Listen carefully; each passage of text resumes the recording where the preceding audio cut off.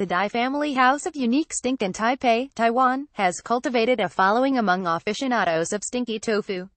An Rong Xu for the New York Times, Taipei, Taiwan, in a small, unassuming building below the growing skyline of Taipei's Xinyi district, Wu Hsu Piying has built a shrine to stink, attracting the faithful from far and wide.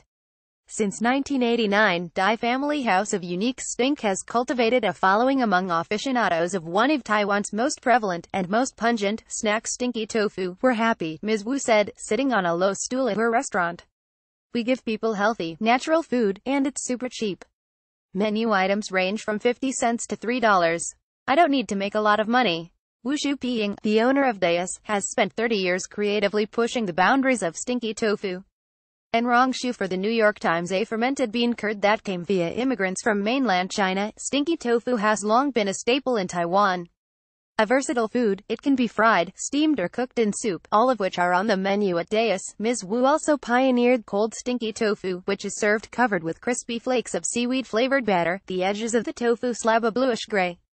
Across Taiwan, deep-fried stinky tofu is commonly sold at stalls in night markets, where its odor carries for long distances describing that odor is a matter of contention. As with eaters of smellier cheeses, proponents of stinky tofu tend to use the term cho, or stinky, in a positive context. Those who detest the dish might compare it to smelly socks or even to rotting garbage. Then again, so might those who enjoy it. The store's logo is stamped on every slab of tofu. An Rong Xu for the New York Times lovers and haters tend to agree on one thing stinky tofu is a much less intense experience for the palate than it is for the nose.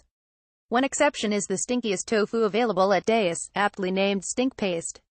Fermented at a low temperature over two years in a vegetable and medicinal herb-based brine, this tofu decomposes and attains a creamy texture and gray hue. If stench were spiciness, it would be a habanero plus, making its presence felt long after swallowing.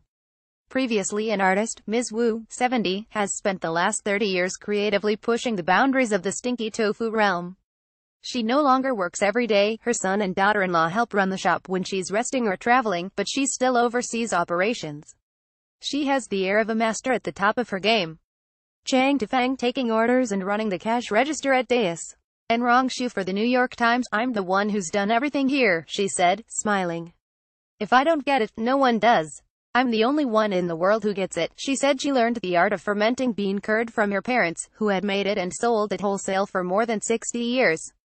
The restaurant takes its name from her stepfather's surname.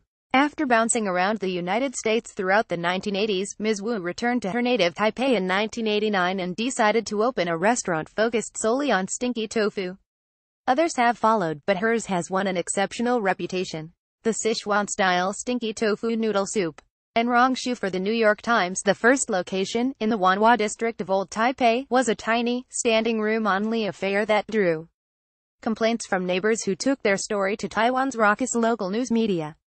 The cramped space and bad publicity compelled her to move to a larger shop. All of Deus tofu production and fermentation is done in the nearby city of Taoyuan, with the store logo stamped on every slab.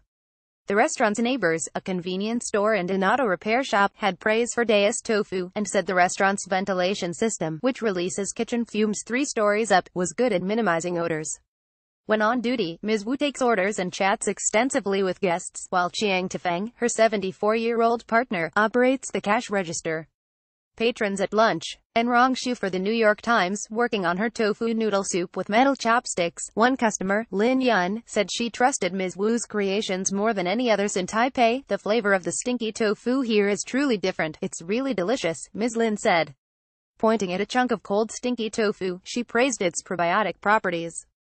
Some doctors will tell you that if you're having gastrointestinal problems, you just need to eat this for three days straight. A framed calligraphic ode to stinky tofu's health benefits hung on the wall above Ms. Lin, praising the dish's ability to clear the lungs, cure constipation and increase the flow of qi, the vital life force of traditional Chinese medicine.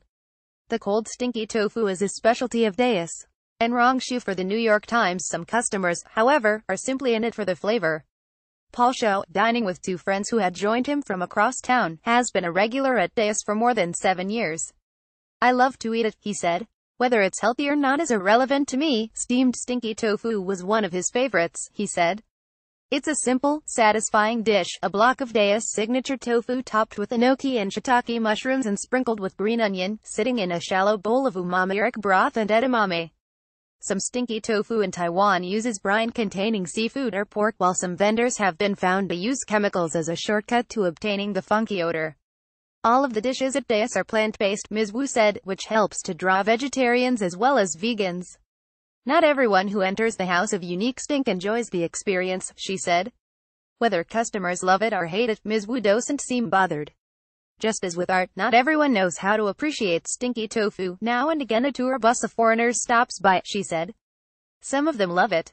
Others will spit their first bite into a tissue. Although Ms. Wu is no longer in the restaurant every day, retirement is not on her agenda anytime soon. I'm still going to be behind the whole operation, she said. It's still early days. A version of this article appears in print on November 20, 2017, on page A5 of the New York edition with the headline In Stinky Tofu Kitchen, the vent rises three stories.